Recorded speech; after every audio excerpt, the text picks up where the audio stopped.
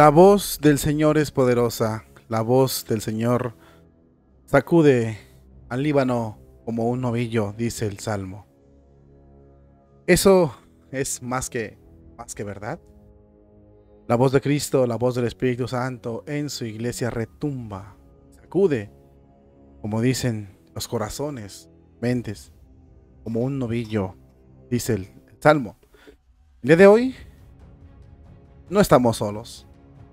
Y este sínodo por el cual nos quieren hacer pasar el Papa y el sector modernista no es más que una prueba para los fieles. Estamos siendo probados como oro en el cristal, dice la escritura. Hay voz del Espíritu Santo en varios cardenales.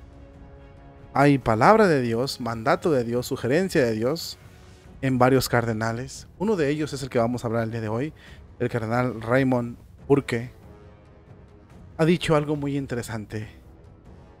Debemos luchar, orar, porque el sínodo de la sinodalidad del Papa Francisco no se lleve a cabo. Y si se lleva a cabo, debemos aferrarnos a que no se lleve a cabo en la práctica. No aceptar el sínodo de la sinodalidad. Porque es ajeno a la doctrina de la iglesia. No tiene nada que ver con Cristo, sino al contrario, pretende destruirla. Y nos va a causar un terrible daño porque va a haber un cambio en la doctrina de la iglesia. ¿Lo tenemos que hacer o pagaremos las consecuencias de este acto? Este momento es decisivo para la Iglesia Católica, lo dice el cardenal Raymond Burker. Vamos a hablar de ello a continuación.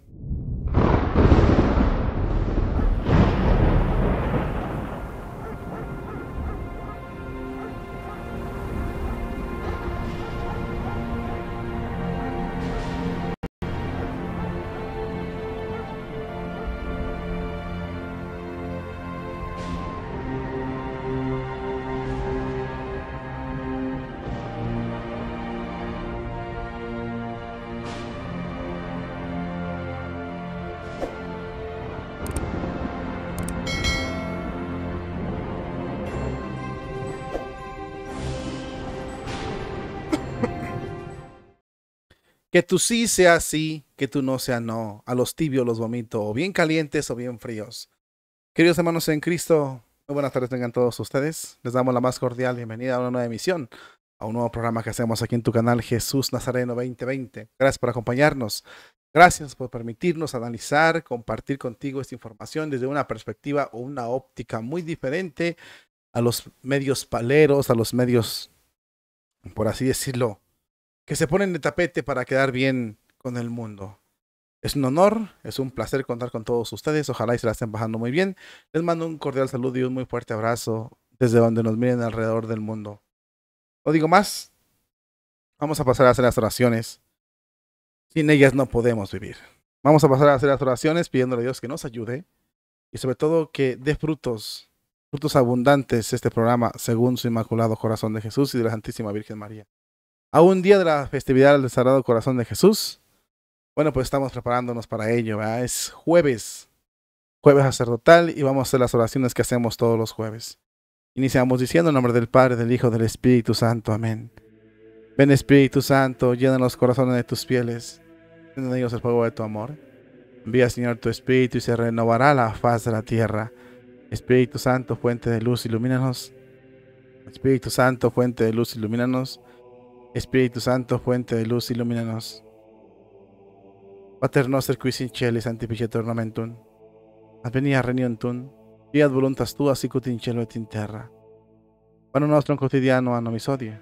Et debiti nobis debita nostra, sicut debit debitoribus nostris, et ne nos inducas in tentationes, et libranos a malo. Ave María, gratia plena Dominus tecum, benedicta tu in mundieribus, et benedictus fructus ventris tui, Jesus. Santa María, Mater Dei, ora pro nobis peccatoribus, nunc et nora mortis nostres. Amén. San Miguel Arcángel, defiéndonos en la batalla, de nuestro amparo contra las perversidades y acechanzas del demonio. Reprímale Dios, pedimos suplicantes. Y tú, príncipe de la milicia celestial, con el poder que Dios te ha conferido.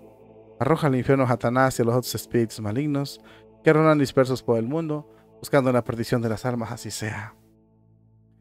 Es jueves sacerdotal, momento de adorar al Santísimo Sacramento, de la misa a los que puedan, acercarse a la hora santa. Nosotros aquí hacemos la oración que se reza en las horas santas al Santísimo, vamos diciendo, bendito sea Dios Bendito sea su santo nombre.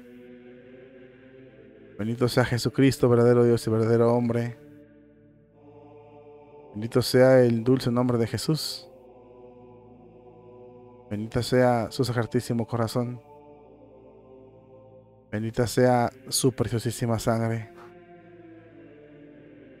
Bendito sea Jesucristo en el santísimo sacramento del altar. Bendito sea el Espíritu Santo Consolador. Bendito sea el dulce nombre de María, Virgen y Madre. Bendita sea su Santa Inmaculada Concepción. Bendito sea su gloriosa asunción al cielo. Bendito sea San José, su castísimo esposo. Sea Dios bendito en sus ángeles y en sus santos. Sea Dios bendito en sus ángeles y en sus santos. Sea Dios bendito en sus ángeles y en sus santos. En los cielos y en la tierra sea para siempre adorado el corazón amoroso de Jesús sacramentado. En los cielos y en la tierra sea para siempre adorado el corazón amoroso de Jesús sacramentado. En los cielos y en la tierra sea para siempre alabado el corazón amoroso de Jesús sacramentado. En nombre del Padre, del Hijo y del Espíritu Santo. Amén. Podemos iniciar, mis queridos hermanos en Cristo, con el tema del día de hoy. Ha hablado Burker Burke, perdón. El cardenal, uno de los cuatro, así son los hechos, ¿eh? no hay otros. Uno de los cuatro que se atrevió a hacer la dubia al Papa Francisco por la encíclica o por el libro Amor Letitia del Padre Papa Francisco.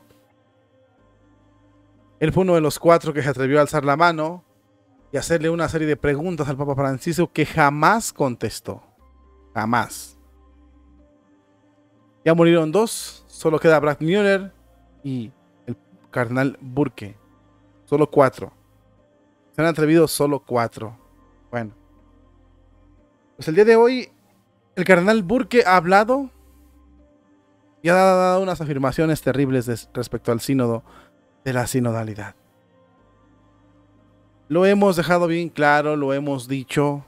Yo desde un principio lo dije, muchos tal vez me criticaron por ello el sínodo es un fraude. Este proceso sinodal es una trampa. Y si tú te quieres decir o quieres decirme que yo estoy refiriéndome a todos los sínodos o a lo que es el sínodo, mm, permíteme explicarte por qué digo que es un fraude. Igual como lo dice Burke, como lo dicen muchos. El sínodo en su esencia, en su origen, es bueno. ¿Qué es el sínodo? Recordemos que es lo que puso más o menos Pablo VI.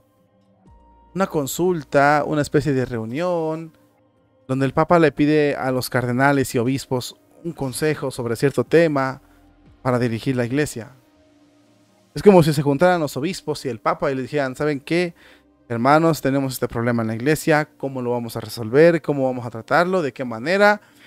Y sobre todo, qué es lo que más o cómo lo podemos arreglar para evitar problemas, ¿no? Un consejo, opiniones, sugerencias. Los de África, los de Asia, los de China, los, bueno, los de África, los de Asia, los de Europa, los de América, que están diciendo, o sea, denme, denme esas ideas. Esto es bueno. Pero nunca el sínodo sirve para cuestionar asuntos que no se negocian. Ya lo hemos hablado y lo vamos a seguir hablando. ¿Por qué? Porque hay personas allá afuera que están muy confundidas y que están tomando lo que más les conviene. Recordemos que el ser humano, así es como se maneja su cerebro, nuestro cerebro.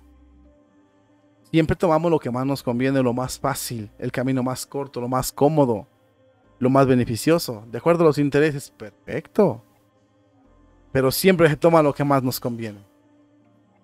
Aquí en la Iglesia Católica hay muchos que están tomando ese camino falso porque creen que les conviene, creen que es lo mejor, creen que les da más libertades, creen que les permite vivir más tranquilos. Sin embargo, eso es mentira.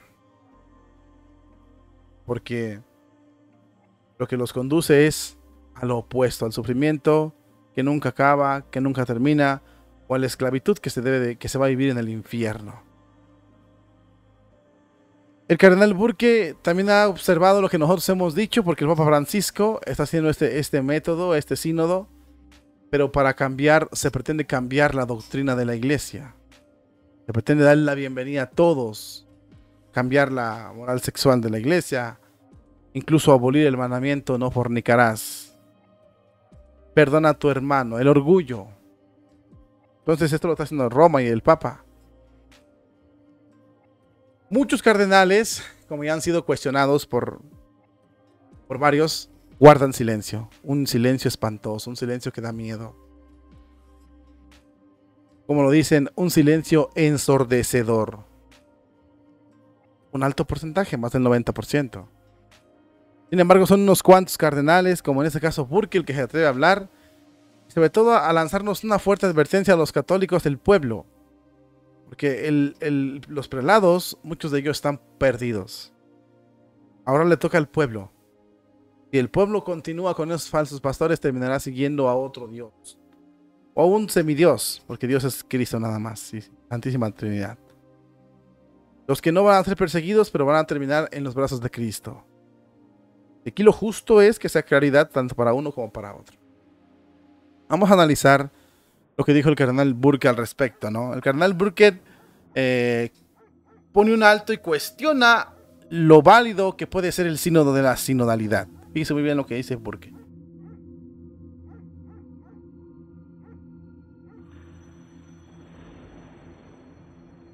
El cardenal norteamericano Raymond Burke, conocido como uno de los cuatro firmantes de la dubia sobre Amor y Letitia, Reza según él cada día para que no se lleve a cabo el sínodo de la sinodalidad.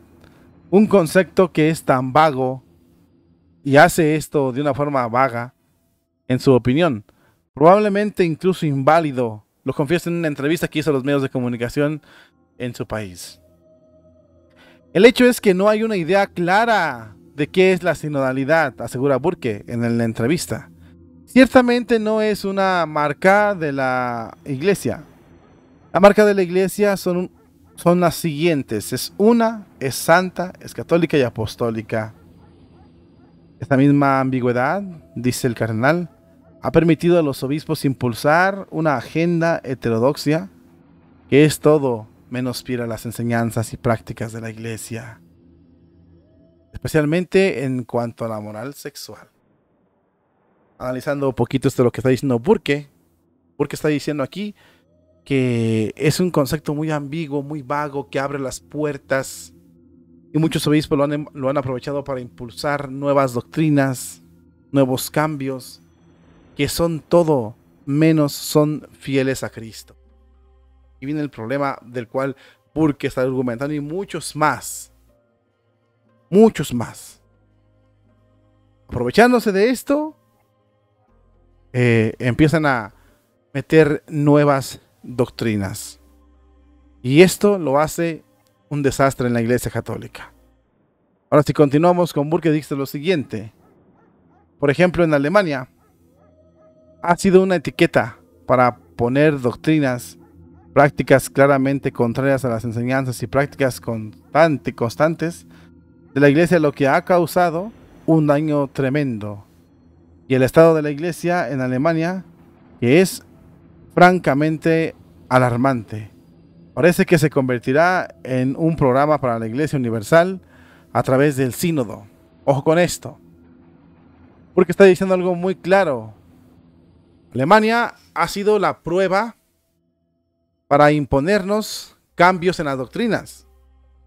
Alemania ha sido como el prueba piloto, que le llaman así en los métodos. Y según el cardenal Burke dice, parece que es lo que van a imponernos en la iglesia, porque parece que van a tomar todo lo que están haciendo los alemanes como un programa como para seguirlo a nivel universal, aplicarlo a nivel universal. Y eso es una verdad. Alemania está apoyando todo lo que tenga que ver con la élite de la multicolor. Y en Estados Unidos hay muchos en lo mismo, en Europa hay muchos en lo mismo, en fin. El documental que sacó el Papa en Netflix o en Disney, vamos a buscar bien qué cadena fue la que lo sacó, gira en torno también a ello. Se reunió con un grupo de jóvenes del sector de todos los lobbies y le lanzaron preguntas al Papa para medir el terreno de los católicos. Y Burke lo dice muy claro, va a ser el piloto para toda la iglesia universal. O sea que este, este, esta práctica en Alemania, todo lo que vemos en Alemania, lo van a aplicar en el sínodo, pero a escala universal. Y esto es alarmante, querido hermano, en Cristo. ¿Viste lo que continúa diciendo Burke? Cuenta el cardenal Burke que el jefe del sínodo de los obispos recientemente dio una entrevista en la que parece indicar que no tiene una idea clara de lo que va a pasar o una idea clara de lo que es la sinodalidad. Y sin embargo, sigue adelante liderando este proceso. Por supuesto, el presidente de la sesión del sínodo sobre la sinodalidad del cardenal John Claude Hollerich de Luxemburgo ha difundido públicamente enseñanzas y prácticas que son claramente contrarias a la iglesia siempre y ha enseñado, bueno, ha enseñado que esto se debe llevar a la práctica. Así que estos son asuntos muy preocupantes mi oración personal todos los días a nuestro Señor es que el sínodo nunca haga que el sínodo no se lleve a cabo, porque francamente no veo que salga nada bueno del mismo sínodo. En respuesta a la reciente afirmación del cardenal Mario Grech, secretario general del sínodo sobre la sinodalidad, de que el sínodo no tiene una agenda que el Evangelio Burke confiesa que eso no lo cree él y que con él estoy, eh, con él hay otros sacerdotes y prelados escépticos en ese sentido. Para un, para que, a ver, ¿para qué reunir los representantes de la Iglesia Universal para hablar sobre el Evangelio? A, a menos de que haya algún aspecto particular del Evangelio que se quiera abordar. Se pregunta por qué. Y el Evangelio no nos llega sino de la tradición de la iglesia. Nos ha, nos ha ido, se nos ha ido transmitiendo en la iglesia por generación tras generación. Decir que vamos a hablar del Evangelio sin darle a la gente una idea clara no es bueno. ¿De qué parte del Evangelio vamos a hablar? ¿Y qué ha enseñado la iglesia sobre esto y cómo podemos aplicar sus enseñanzas en nuestro propio tiempo. Todo esto es dañino para las almas y genera falsas expectativas, dice Burke. A principios de esta primavera, el cardenal condenó de una manera similar también a la Iglesia Herética del Camino Sinodal Alemania, alemana, declarando que la división de las enseñanzas de Cristo y de la Iglesia por parte de los obispos era un pecado contra Cristo mismo. Ya sea una división, una enseñanza herética o la negación de una de las doctrinas de fe o la apostasía en el sentido de simplemente alejarse de Cristo y de su enseñanza en la iglesia. Para abrazar algunas otras formas de religión, estas son delitos, dice Burke, estos son pecados contra Cristo mismo sus inventos humanos, ideológicos, humanas, que se están impulsando y que la iglesia está siendo utilizada, agregó, y lo que han es convertir a la iglesia en su especie de agencia humana, casi con una agencia gubernamental, como una agencia gubernamental que está siendo manipulada para fomentar ciertos programas, ciertas agendas. Por eso tenemos que darnos cuenta de lo que está sucediendo y tratar de frenar a toda costa este sínodo de la sinodalidad. Ahí lo está diciendo Burke de una forma muy clara. O frenamos este sínodo o va a haber un problema. A ver, pero siendo sincero lo dice Burke. Puede ser y está bien lo que está explicando Burke, pero la pregunta aquí que vamos a hacernos es, ¿el Papa le irá a hacer caso? No. No le hicieron caso en la dubia. Él firmó la dubia en la, pidiendo la respuesta sobre amor de Letitia del Papa Francisco. No le hicieron caso. Ni a él, ni a Brack Müller, ni a los otros dos que murieron. Entonces las declaraciones que está haciendo este, Burke, Müller, Snyder y Vigano y otros más, no les va a hacer caso el Papa Francisco y van a continuar con su sínodo. Es un hecho. Si Burke lo dice, lo van a ignorar, lo van a acusar, lo van a decir cosas y no, no les van a hacer caso, lo van a querer a silenciar.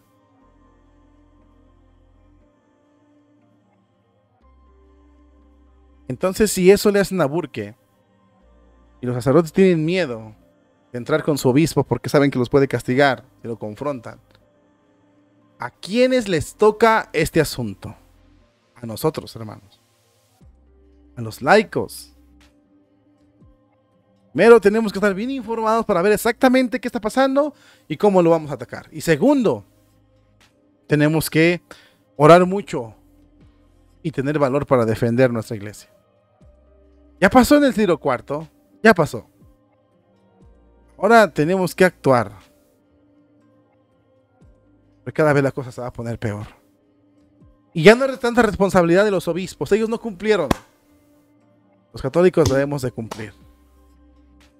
Los católicos debemos de cumplir. Porque cuando hay un martirio, cuando hay un problema en la iglesia católica, son unos cuantos los que se suman. La gran mayoría se esconde. ¿Cómo pasó? Cristo tenía 12 apóstoles y solamente uno lo acompañó a la cruz. ¿Qué pasa. Entonces, es importante que oremos, pero sobre todo también que si el Papa Francisco y los obispos lo llevan a la práctica este sínodo, y si no salen las cosas de acuerdo al magisterio, de acuerdo a la tradición de la iglesia, los laicos tenemos que quitarlo, aunque sea en la práctica.